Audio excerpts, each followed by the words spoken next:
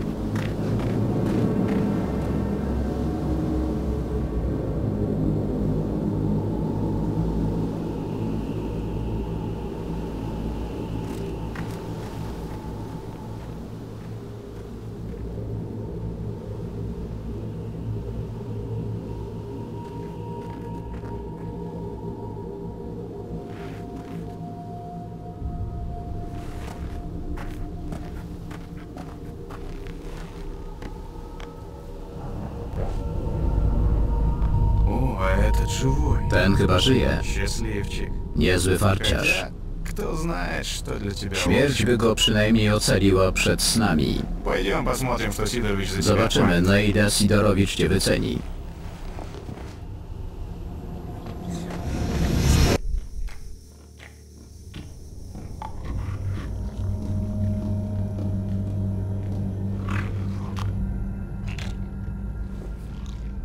Что притащил? Co masz? Тело.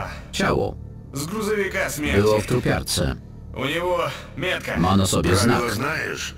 Znacie Выброси. procedurę. Tak, jeśli on Zostawcie go żywy. na... On żyje. Że co? Не может быть. Jaja sobie Mnie robisz. zona zeżre, Niech jeśli mnie on- zona pochłonie, jeśli kłamie. Давай его сюда. Połóż go tutaj.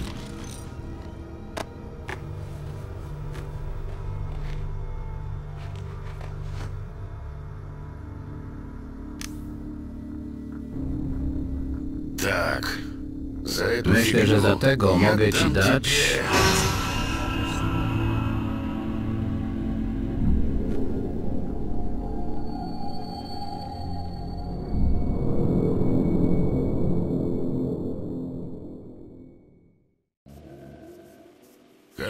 Dobra naznaczony, uratowałem cię. i nie będę udawał, że chciałem mieć fory u Bozi. Wykonasz dla mnie parę zleceń i będziemy kwita. No i może, jak trochę popracujesz, to ci ustąpi ta amnezja. Spróbuję się dowiedzieć jak najwięcej o twoim problemie. Mam gdzieś po co ci ten stryłok. Ja się zajmuję swoimi sprawami. Jak chcesz go zabić, to widać, musisz mieć powód. Cześć, witajcie. W pierwszym odcinku zagrajmy Stalker Czarnobyla najpierw pogadam z Sidorowiczem handlarzem, weźmiemy naszą pierwszą misję, a później wszystko dokładnie, tak się przywitam normalnie i tak dalej. Wybór należy do ciebie. Daj mi misję. Mam dla ciebie robotę naznaczony. Chcę, żebyś odszukał stalkera zwanego Żwawym. Miał przy sobie pewne bardzo Okej, mamy ważne znaleźć informacje. żwawego i zabrać go pendrive z ważnymi informacjami. Znajdź go. Zapytamy wilka w Żywy, obozie, martwy, gdzie jest ten gościu. Okej, na razie to tyle. Przynieś mi pendrive, a przyjmiemy, że częściowo oddzięczyłeś się mi za uratowanie życia. Okej, spróbujemy. Wyjdę stąd i zaraz już z wami Odetchnij sobie świeżym powietrzem i właź do środka. załatwię. Okej. Jesteśmy na powierzchni, mogę z wami normalnie porozmawiać, że tak powiem. Em, mam zainstalowane dwa mody, troszkę ułatwiające rozgrywkę, ale też nie do końca. Pierwszy mod to Sleeping Bag, Sleep Mod tak zwany. Dostajemy śpiwór, dzięki któremu możemy się przespać godzinkę, 3 bądź 9. To jest na przykład jeżeli nie chcemy chodzić po nocy i tak dalej. Drugi mod to Repair mod, dzięki któremu możemy naprawiać kombinezony, kurtki i broń. W oryginalnej grze tego nie ma, jest to dopiero w następnych Stalkerach. Em, to jest bardzo przydatna rzecz, ponieważ na przykład zdobywamy jakąś dobrą broń i nie możemy jej później ulepszyć, dzięki czemu jesteśmy w dupie tak naprawdę. Ta. Gra jest według mnie taką niedocenioną perłą troszkę. Wśród fanów, tak zwanych striałków właśnie, wszyscy nazywa, nazywają fanów Stalkera striałkami. Ehm, gra jest oczywiście najlepszą na świecie, ale wśród normalnych graczy w takich klimatach rządzi Fallout, bym powiedział. A szkoda, szkoda, ponieważ tutaj jest moim zdaniem troszkę lepiej przedstawiona cała sytuacja i klimat, taki postapokaliptyczny, ale też nie do końca, bo tutaj są zupełnie inne realia bym powiedział. E, cała zona, czyli ten obszar, w którym, w którym działa gra, że tak powiem, istnieje gra. Po wybuchu elektrowni w Czarnobylu, która znajduje się, już wam pokazuję gdzie. To jest nasze PDA, czyli... No, może odpalę mapę. Nie PDA. Okej. Okay. Cała elektrownia znajduje się tutaj, jak widzicie za Prypecią. Um, mamy różne anomalie przez ten wybuch elektrowni. Są to elektrownie różne, od termicznych po chemiczne i tak dalej, mają swoje nazwy, na przykład elektro jest to wyładowanie energetyczne, jak, jak sama nazwa w sumie wskazuje. Jest to wyładowanie prądu, o dużym nasileniu do wykrywania takich e, anomalii, jaka, jaki to jest typ i tak dalej. Służą nam śrubki, rzucamy po prostu w anomalię, takie załamanie powietrza bym powiedział. I wtedy już wiemy jaka to jest anomalia. I w tych anomaliach tam losowo tworzą się artefakty dla danej anomalii tylko wyszczególnione. W sumie to było na tyle na razie. Mamy tam system skradania. Tam wezmę kamerę z zapleców, żebyście mogli bardziej zobaczyć. Ogólnie z zapleców on tak dziwnie biega sobie, jak nie ma broni. A więc zobaczcie, koło naszej sylwetki Stalkera na lewym dolnym rogu mamy taki jakby głośnik. To jest jak głośno się poruszamy. Chodząc normalnie widzicie. Chodząc, e, a czy biegnąc takim truchtem w sumie. Chodząc jest troszkę ciszej, jednak nie do końca. Kucając jest już całkiem cicho bym powiedział. Jednak dopiero gdy trzymamy chodzenie i kucanie, to się tak naprawdę skradamy. Wtedy możemy wbić nóż w plecy. Tak więc idziemy do wilka, pogadać z nim o, żwawym. Jest system reputacji oczywiście, o którym zaraz powiem więcej. Muszę zobaczyć się ze żwawym, może wiesz gdzie go znajdę. Żwawy ma spore kłopoty, niedaleko stąd jego grupę napadli bandyci. Ledwie dał mi radę wysłać sygnał SOS. Wygląda na to, że resztę chłopaków załatwili. Moi ludzie powiedzieli mi, że sukinsyny są teraz na starym parkingu po drugiej stronie drogi. Okej. Dałbym ci popalić, tylko po co? To nie takie proste. Mam za mało ludzi, a ci, których mam, to w większości koty. Ten przerwimy i wrócimy do systemu reputacji. Jak widzicie, Wilk jest doświadczonym e, samotnikiem, czyli takim samotnym stalkerem. Ja jestem niestety kotem. I będę zdobywał tą reputację poprzez wykonywanie zadań i pomaganie innym stalkerom. Dobra, jedziemy dalej z questem. Nie mogę ryzykować. Jak stracimy obóz, to dla tych wszystkich stalkerów zrobi się niewesoło. No a ty, jak cię tak strasznie nie boisz, to schowam dumę do kieszeni i pozwolę sobie pomóc. Jak będzie z bandzierami. Sam nie masz szans. Moi zwiadowcy to dobrzy żołnierze i w tej chwili są tuż za tymi debilami. Razem może wam się udać. Co myślisz, masz tyle odwagi? Jasne. I teraz pokażę wam malutki sekrecik. Na sam początek jest to wspaniały pancerz. Wchodzimy tutaj, tylko po rozmowie z wilkiem. Inaczej nie działa. Oj, Odbiór. Spadłem. Nie jest tak łatwo tam wejść tak naprawdę. Nie wchodził nam w drogę. Bez odbioru. Um, w zależności od wersji, ponieważ stalkery dzielą się na ruskie wersje oraz międzynarodowe. To jest chyba wersja międzynarodowa, bo o ile dobrze wiem, w ruskiej jest tam kombinezon stalkera, a tutaj kombinezon najemnika w tej wersji. I bierzemy sprint na ten daszek. Wyciągamy broń, którą dostaliśmy od wilka. Kucamy tutaj i widzicie tą skrzynkę. Strzelamy w jej daleki róg, tak żeby ten pancerz do nas w sumie przyleciał. I mamy kombinezon najemników. Jak widzicie, jest on trochę tańszy od Stalkera kombinezonu, no i nie ma noktowizora niestety. I kosztuje 6000 rubli, kombinezon Stalkera kosztuje 15 rub- 15 tysięcy rubli, o ile dobrze pamiętam. Jak widzimy, mamy wszystko na 10%. Zakładamy pancerz. I jak widzicie, bardzo ładnie nam wskoczyło. Chyba nawet dodało nam odporność na promieniowanie. Tak. Jesteśmy odporni na promieniowanie, mamy nakładkę kuloodporną lepszą, na wybuchy, oparzenia chemiczne itd. Ogólnie nasze parametry wzrosły. Także bardzo fajny kombinezon. Jeżeli chcemy kaskę, to oczywiście go sprzedajemy. Ja go nie sprzedam, ponieważ pancerz jest ważniejszy od broni według mnie. Przynajmniej w tej grze. Quick save. I idziemy zobaczyć się z ludźmi żwawego. Yy, wilka, sorry. Żwawego musimy odbić. Albo przynajmniej zabrać jego pendrive.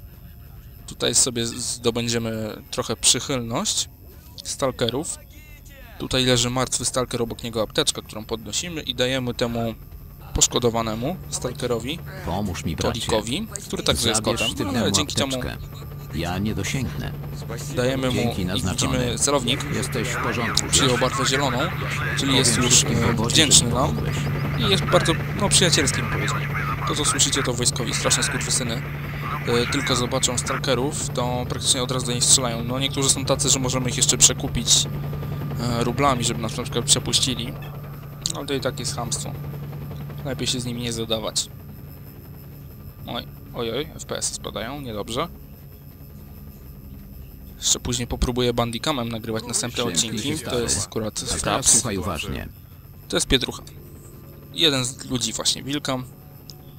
Ilu bandytów jest w obozie? Siedmiu lub ośmiu, dwóch przy bramie, dwóch w budynku po prawej koło ogniska, a kolejnych dwóch w tym po lewej. Tam właśnie trzymają żwawego. Zazwyczaj jeszcze ktoś kręci się po placu. To by było na tyle. To co, paciorek i w drogę? Okej.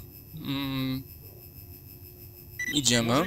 Wilk przysłał nam wsparcie Te informacje, które tam były Pora o ilości bandytów i tak dalej, w tym momencie nie są aż tak szczególnie ważne, ponieważ mamy ze sobą wsparcie. Jeżeli szlibyśmy samemu i ktoś by nam dał, nam dał takie zadanie, coś w tym stylu, głównie poboczne są takie, to wtedy warto po prostu czytać i to zauważyć. Możemy się wtedy właśnie zakradać, jeżeli już mamy na przykład karabinek typu Winter, czy jakąś inną snajperkę z tłumikiem, bądź coś. Chociaż chyba tłumiki są w modach. No, oj, oj, promieniowanie. I pierwsza anomalia, jak widzicie, załamanie powietrza. O, proszę, jaka to jest anomalia? Chyba jedna z termicznych. Tak, to jest jedna z termicznych anomalii, ale nieważne. Jeden bandyta jest tutaj w budynku. A, już wybiegł stamtąd. No to nie będzie to ciekawie. Idziemy razem z innymi stalkerami.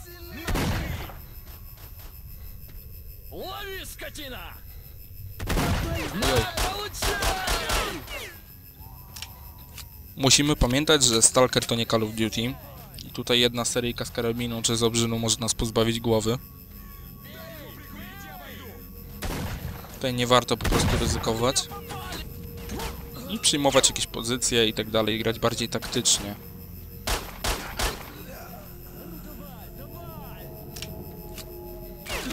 Oj, bandyty, bandyci tu są, oni jeszcze nie zabili. Pietrucha, słabych ludzi masz. Dobrze mam ten pancerz lepszy. Na razie nie mam apteczki, bym ci pomógł z chęcią. Okej, mam apteczkę. Szybko wstawaj.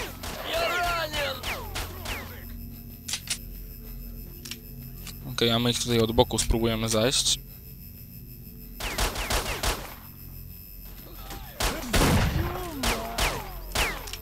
Jeden z ludzi Pietrucha tutaj obrzyn, także będzie całkiem fajnie. Okej.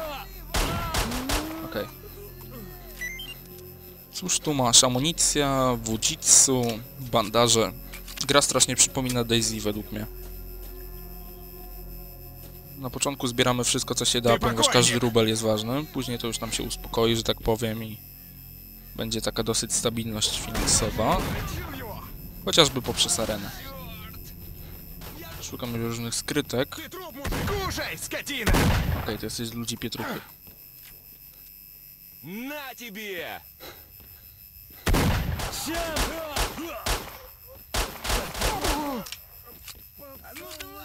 Dzięki temu pancerzowi w sumie jeszcze nie zginąłem tak naprawdę. Naprawdę sporo mi daje. Że bandyci same PM-y mają. Jeszcze nie spotkałem żadnego z obrzynem. A wiem, że tutaj ich kilku było. Ale powiem trochę słów o ekwipunku. Tylko niech się uspokoi co to cała sytuacja. Ponieważ jeszcze nie jest koniec, nie dostaliśmy informacji o tym, żeby żwawego znaleźć.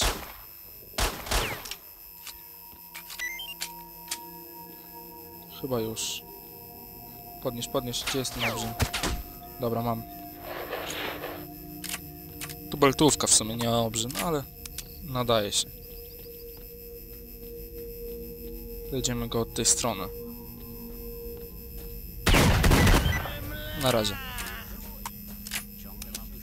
Jak mówiłem, zbieramy wszystko. Nie wiadomo co, kiedy się przyda. Chyba wszystko już zebrałem, co Wracamy mogłem. na pozycje wyjściowe. Bez Jeszcze zobaczę tych dwóch tutaj. Pusto.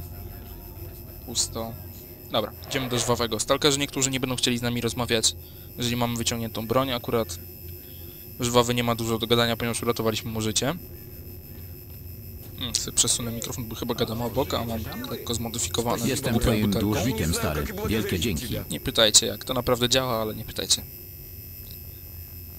O, dzięki brachu uświadczyłeś na wielką przysługę, nie wiem jak ci dziękować. Dawaj pendrive'a. Mam. Ci debile nie potrafią nawet człowieka dobrze przeszukać. Ale co tam, bierz, w końcu ocaliłeś mi życie. Dobrze go schowałem. No, ale gdzie go trzymałeś? No na pewno nie tam, nic się nie bój. Okej, bardzo długo pracowałem dla handlarza, więc potrafię bezpiecznie przechowywać informacje. Tak w ogóle opowiedziałem badzierom ładną bajeczkę o skrytce pełnej artefaktów i wysłali tam jednego gościa. Skrytka istnieje, jest tam tylko jeden artefakt. Jeśli chcesz, dam ci współrzędne. Dawaj. Ale nie zapominaj, że jest tam masa dzikich zwierząt. No, zbir jest dobrze wyekwipowany. Okej, dzięki. Nie ma za co powiedzenia. Masz jakieś zlecenie? Zalepszony kombinezon, dawaj. Kiedy byłem jeńcem, słyszałem jak bandyci rozmawiają o ukrytym schowku, w którym trzymają łup. Podobno ukryli tam super kurtkę, a dzień później jakiś stwór upatrzył sobie ten schowek i teraz boją się tam pójść. Zrób mi przysługę, przynieś tą kurtkę, dobrze zapłacę. Okej, za chwilkę. Ym, jestem gotów, dawaj. I na razie.